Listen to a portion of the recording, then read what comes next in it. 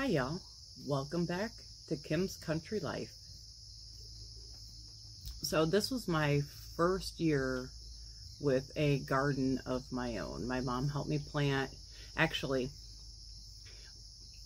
my mom forced me to plant a garden, which was kind of funny because I had no desire to plant a garden whatsoever. And then I got into it and I basically took over the garden. She couldn't believe it. So now um, I'm a little addicted to gardening, just a little bit. So um, I'm planning a much larger garden for next year, which is going to be a lot more work, but I didn't mind it. Um, I really didn't mind the work at all. It wasn't what I would consider difficult. Um, next year, the particular bed we planted will probably be worse with the weeds, but it really I mean, for what we got out of the garden, it was totally 100% worth it. So I might have gone a little crazy with seeds for next year's garden. I have a whole stash that you guys aren't going to see today, but I'll get those out later. Um, but I do have my five seed orders. Fortunately, they decided to pack a couple of them in the same one, which uh, saved me some shipping. Uh, but you'll notice these are not from your big box stores, not from Walmart, Home Depot, um, Tractor Supply, anywhere like that. These are from actual rare seed companies. It's what they do. Um, I've learned about a couple of them. I've started seed catalogs, which is going to be um, something else. My husband's going to kill me by the time we're all said and done. But let's go through and see what kind of seeds I bought.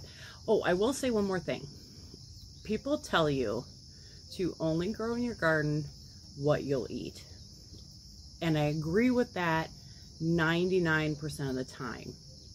But the thing is, you have to think about the sauces that you eat, the salsas, the salads, things that you wouldn't necessarily eat the ingredients individually but when they're combined, they give a completely different taste profile. And I'll explain why that's important to me in just here in a second.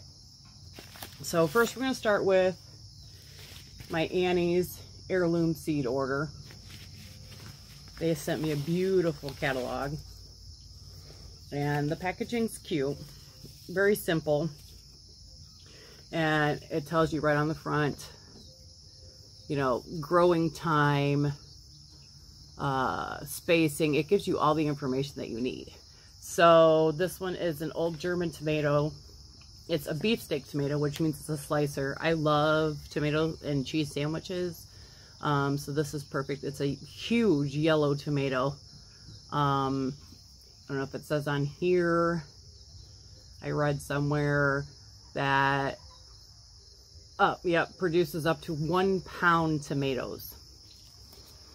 Uh, and then I've got the San Marzano tomato. Um, this is a really good sauce tomato, and I like to make my own spaghetti sauce. Um, and I'm venturing into canning this year. As a matter of fact, while I'm shooting this video, I have um, tomatoes that are stewing, not stewing, they're cooking down so I can finish off my sauce. Uh, these are what are called a paste tomato. They're a little, they have a little less liquid inside and uh, a little bit more meat. So they make a good sauce. Uh, let's see.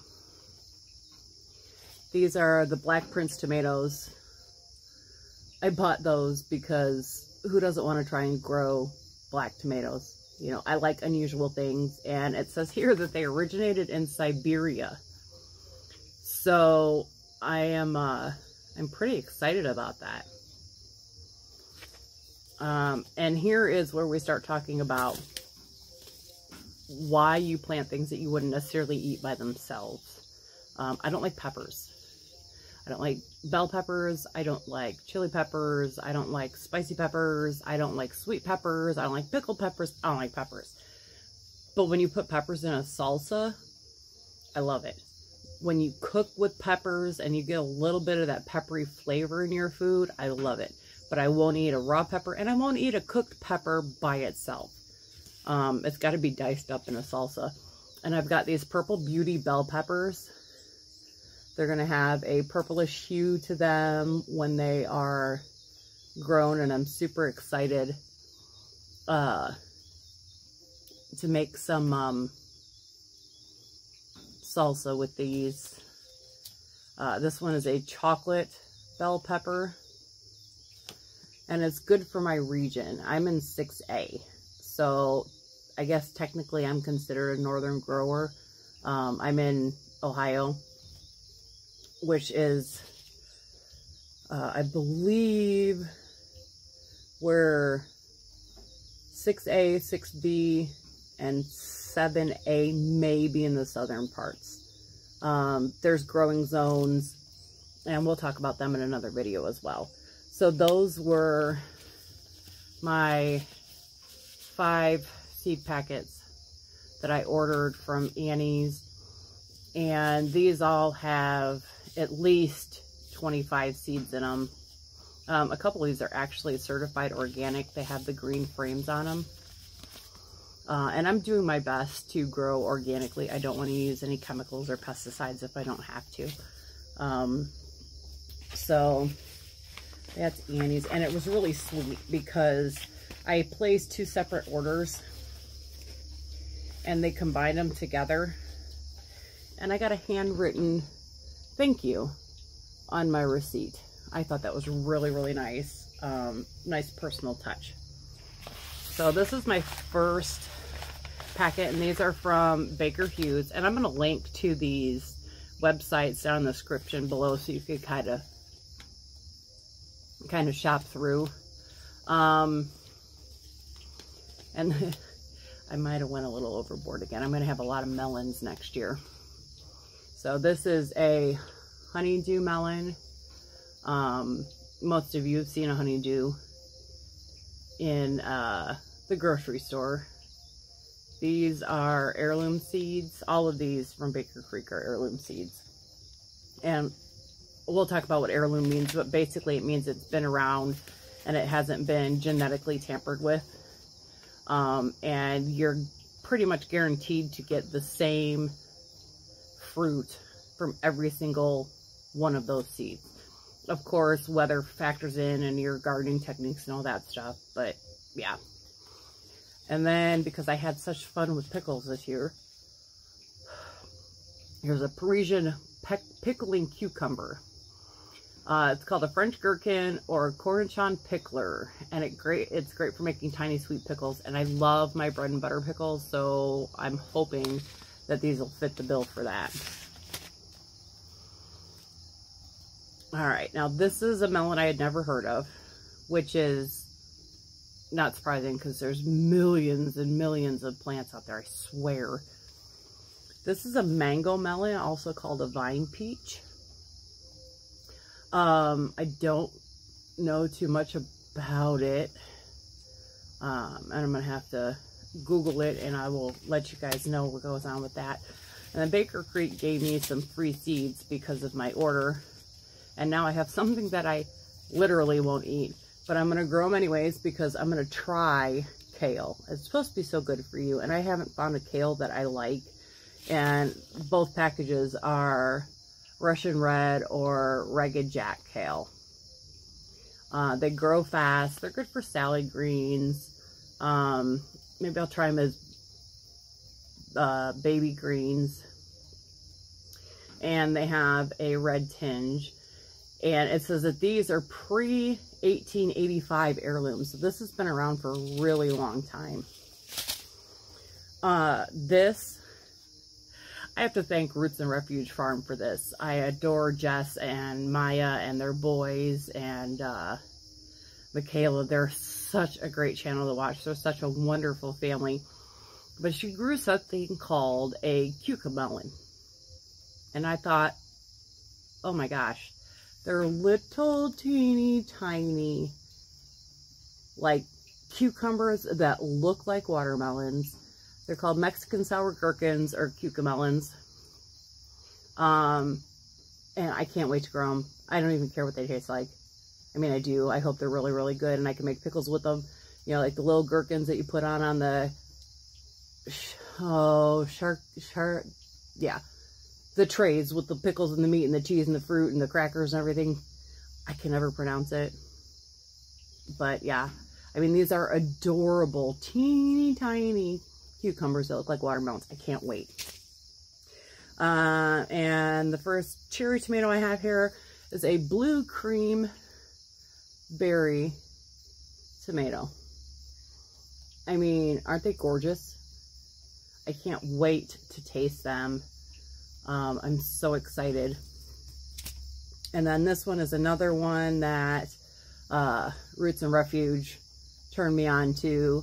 Uh, I'll link them down below. I love watching their videos. I actually went back and started in the beginning and working my way through. But Brad's Atomic Grape, I mean, her kids absolutely love them. She said they're, they're probably one of the best cherries that she grows. Uh, so I'm looking forward to that. And then I've got a melon. It's a sweet passion melon. And it's interesting because this is actually an Ohio heirloom from the 20s. So I'm very excited. Three to four pound fruits. I cannot wait to try these. I love melons. Except ironically, I don't like watermelon. It's a texture thing. But that doesn't mean I'm not going to grow it. Because I am. Uh, so that was my first Baker Creek order. And then here's my other one. Let's see what we got here. All right. Oh, another package of kale. Oh boy. Uh, all right, so another thing that I don't like, and I got these for my mom because I don't like them, are beets. They're so good for you. The greens are good for you. The roots are good for you. But they taste like dirt. And I actually learned from Jess why they taste like dirt the other night watching one of her videos. Um, so, yeah, this is a canning beet. It looks great. Very red. I'm sure my mom will be excited. Uh, I've got another pickling cucumber, a Boston pickling cucumber. This one's been around since 1880. Uh, I can't wait. Let's see what else we got here. I don't eat onions either, unless they're cooked, or in sauces, or in salsa, but you put onions in so many things. Uh, so I've got a yellow sweet Spanish onion, which are the ones that I buy in the store anyway. So this is perfect for me. I don't have to worry about going to the store. Um, and yeah, a one pound onion, perfect. Mm, and then I've got another heirloom, and this is a Oregon sugar pod. These are peas. Danny loves sugar snap peas. And so we won't let these get to shelling. Um, we'll just pick them young and eat them off the vine. And we'll talk about all that stuff when I do the planting. Now these two, this is going to be amusing to you because I did say that I don't like peppers, right? Well, I like salsa. And I like queso and salsa. So I got a Tam jalapeno, which is a mild jalapeno. Uh, it's got the same flavor of jalapeno, but a lot less heat. So I'm looking forward to that. And my husband actually likes jalapenos every once in a while. And there's a story I'll have to tell you about that because that was pretty funny. And the other pepper I bought is a poblano. Um, these will be great in salsas as well. Uh, you can stuff them for chili rellenos. There's all kinds of things you can do to these. Um, and they're pretty, uh, pretty small. Well, three to six inch heart shaped fruits. Um, and you can also dry these and make chili powder out of them. So those are my seed orders for now. I have probably another maybe 30 packages of seeds um, that I started out storing in my refrigerator and I'm going to leave those there. Those I'm going to store in a uh, cool, dry place so that I don't risk uh, the seeds getting damp and actually either molding or germinating in the packet long before I'm ready to plant. Um, so that's those are the seeds. I'm super excited. I got some rare seeds there. um, something that I have never seen in the stores. I learn about a lot of these plants from watching other gardening channels. Um,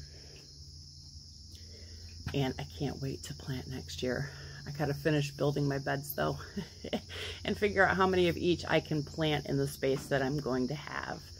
Um, so that's it for me today. Thank you so much for watching.